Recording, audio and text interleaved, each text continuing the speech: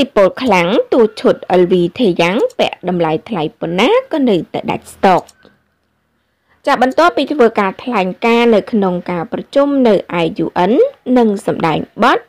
Permission to Dance រួចមក គេឃើញ BTS នៅឯសារមន្ទីរមួយក្នុង NYC ជាមួយនឹងអ្នកតំណាងស្ត្រីទី1របស់កូរ៉េអ្វីដែលគេចាប់អារម្មណ៍ខ្លាំងជាងនោះគឺថេយ៉ាង លេចធ្លោជាមួយនឹងសម្លៀកបំពាក់មួយទូខ្លួនម៉ាក Louis Vuitton ចាកំឡោះសង្ហាថេយ៉ាង ក្រងសម្លៀកបំពាក់ម៉ាកនេះយ៉ាងហំហួន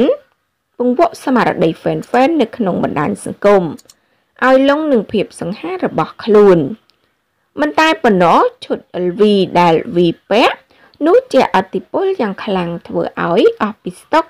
រលីងរកទិញមិនទាន់ទៀតផងចាតាមប្រភពបានឲ្យដឹងថាឈុតដែលវីពាក់ជាឈុតដែលមានតម្លៃថ្លៃជាងគេតែត្រូវដាច់ស្តុកគ្រប់ទំហំតែម្ដង ដែលធ្វើឲ្យ brand ធំធំជាច្រើន យកខ្លួនធ្វើជាមុខមាត់ឲ្យផលិតផលគិតចាប់ពីរថយន្តរហូតដល់ឈុតសម្លៀកបំពាក់ Louis Vuitton នេះឯងចាដែលជ្រើសរើសថេយ៉ាងឲ្យស្លៀកឈុត ដែលមិនទាន់ចេញរបស់ខ្លួនចា fan fan ស៊ាំទៅហើយដែលអីវ៉ាន់អស់ស្តុកបែបនេះវាមិនមែនជារឿងប្លែកទេ សម្រាប់សមាជិករបស់ BTS ដែលជះអតិពលទៅដល់ផលិតផលដែលខ្លួនប្រើប្រាស់រហូតដល់អស់ពីស្តុកលឿនយ៉ាងនេះ